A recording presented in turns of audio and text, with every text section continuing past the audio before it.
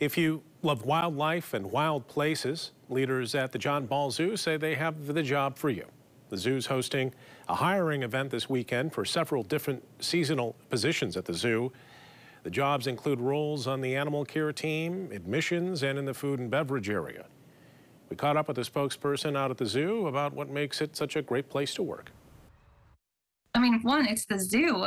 You can't go wrong with that, with all the different animals and fun things to see, as well as the amazing perks that we offer for all of our seasonals, which include a membership um, for anyone that wants to come, discounts throughout the zoo, free lunches. We have scholarship opportunities, flexible scheduling, um, percentages off at the gift shop and food, um, bus passes, all kinds of, and then we also have seasonal nights where we allow all the seasonals to come and enjoy the zoo at night, which is really awesome too, a different experience.